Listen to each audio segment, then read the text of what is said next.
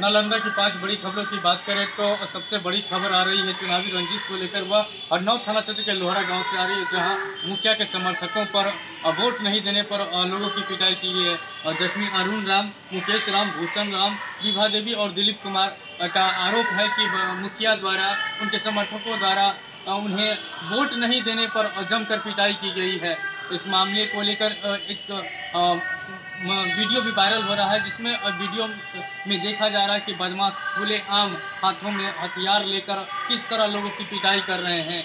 और DSP doctor C V Nomani ने बताया कि उन्हें घटना की जानकारी मिल। गई जो भी दोषी हैं, उन पर कड़ी कार्रवाई की जाएगी। वहीं दूसरी खबर की बात करें तो नगर थाना क्षेत्र के और भैंसासुर मोहल्ले से आ रही है, जहाँ एक शख्स को घर से बुलाकर लाठी और रॉड से जमकर पिटाई की गई है। युवक आलमगंज निवासी मनोज कुमार का पुत्र मनीष कुमार है। पीड़ित युवक का कहना है कि उसे कुछ लोगों ने युवकों ने उसे फ़ोन कर घर से बुलाया। जब वह भैंसासुर चौक के समीप पहुँचा, उसी दौरान हथबो हथियार और लाठी डंडे से उसे जम कर पिटाई किया जिस दौरान उसके बाएँ पैर चोटिल हो गया, या कहें तो टूट गया है। जख्मी युवक को गंभीर हालत में बिहार से सदर अस्पताल में भर्ती कराया गया, जहाँ से उसे बेहतर इलाज के लिए बिम्स रेफर किया गया है। युवक इलाजरत है। पुलिस त्वरित कार्रवाई करते हुए युवक के पिता को इस मामले में गिरफ़्तार कर न्यायिक हिरासत में भेज दी है। आगे भी बदमाशों की गिरफ्तारी के लिए छापेमारी की जा रही है। वहीं हम तीसरी खबर की बात करें तो नालंदा में एक दिवसीय राज्य स्तरीय खो खो और चयन प्रतियोगिता का आयोजन किया गया। बिहार शरीफ प्रखंड के मेघी नगमा स्थित विद्या भारती स्कूल में खो खो एसोसिएशन द्वारा एक दिवसीय चयन प्रतियोगिता का आयोजन किया गया। इसमें बालिका वर्ग से और बालक वर्ग से 20 टीमों ने हिस्सा लिया।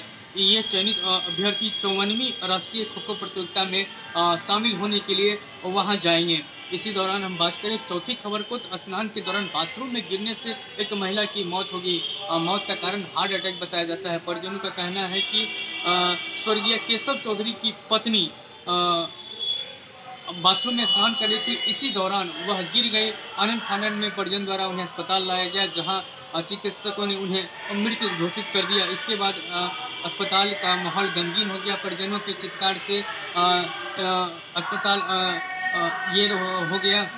इसी तरह हम पाँचवीं खबर की बात करें तो दीपनगर थाना अध्यक्ष छः दो इक्कीस को साटोपुर में दो पक्षों के बीच झगड़ा की सूचना पर हमला करने के आरोपित को पाँच आरोपित को गिरफ़्तार किया है।